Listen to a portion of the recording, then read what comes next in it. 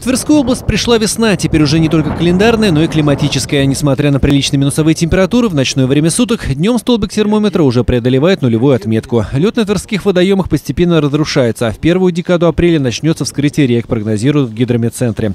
Время готовится к паводку. Как обстоит положение дел в муниципальных образованиях, обсудили на селекторном совещании в региональном управлении МЧС под председательством губернатора Игоря Рудени.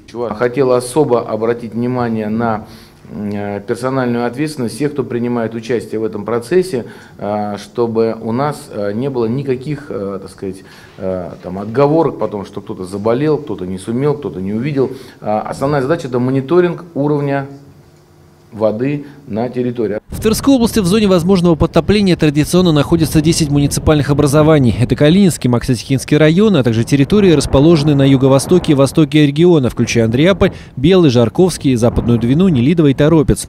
Глава муниципалитетов подробно отчитались перед губернатором о готовности к прохождению паводка. Как следовало из докладов, необходимые меры приняты, финансирование предусмотрено, недостатков в силах и средствах нет.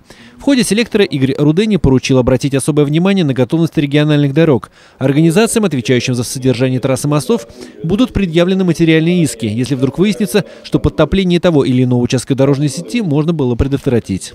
Ну, неважно, коммерческая структура, дорожное хозяйство, а, лесопользователи. Но мы так, э, так сказать, определились, договорились, это совместная работа прокуратуры, а, совместная работа правительства области. Будем предъявлять ущерб тем лицам, которые, действия которых нанесли урон региональной экономике. Тема готовности к безаварийному прохождению весеннего паводка стала центральной на очередном заседании регионального правительства. Как сообщил членам Кабмина начальник Главного управления МЧС России по Тверской области Арсен Григорян, в целях оперативного реагирования на возможные внештатные ситуации создана объединенная группировка из более чем 8,5 тысяч сотрудников, почти 2 тысяч единиц техники, 16 воздушных судов и 147 плавсредств. Кроме того, сформировано 5 подрывных команд для разрушения льда на водоемах. Организованное информирование населения – складывающейся обстановки через местные и региональные СМИ, а также оповещение населения, используемой Тверской региональной системы централизованного оповещения. Спланированы проведение эвакуационных мероприятий, которым готовы 10 пунктов временного размещения. Общей вместимости более 2000 человек.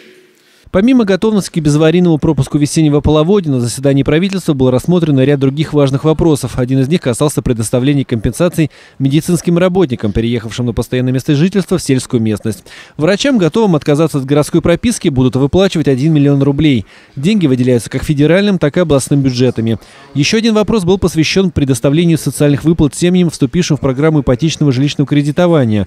Правительство Тверской области намерено существенно упростить порядок получения субсидий. Впрочем, как отметил Игорь Руденя, куда более серьезной мерой поддержки станет инициатива о снижении процентной ставки по ипотечным кредитам, предложенная президентом страны.